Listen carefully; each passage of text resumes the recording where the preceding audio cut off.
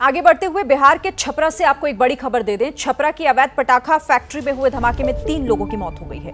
मलबे में दो और लोगों के दबे होने की आशंका है। इस धमाके से पूरा घर तबाह हो गया है। ये घर नदी किनारे है, जिसमें मकान का एक बड़ा हिस्सा ढह गया। तो अवैध तौर पर बताया जा रहा है, ये पटाखा फैक्ट्री चलाई जा रही थी, जिसमें धमाका होने से ये हादसा हुआ। पूरा घर पूरी तरीके से तबाह हो गया है। धमाके की तस्वीरें इस वक्त आप एबीपी न्यूज़ पर देख रहे हैं। तीन लोगों की मौत की खबर है। दो और लोगों के दबे होने की आशंका है मलबे में। नदी किनारे बसा हुआ था ये मकान और इसका एक बड़ा हिस्सा नदी में बह गया है।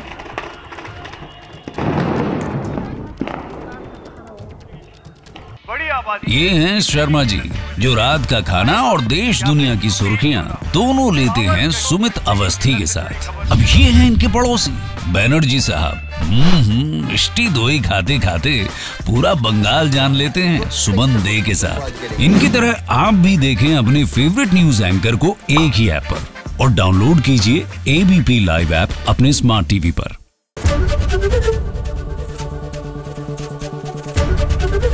एबीपी न्यूज़ आपको रखे आगे।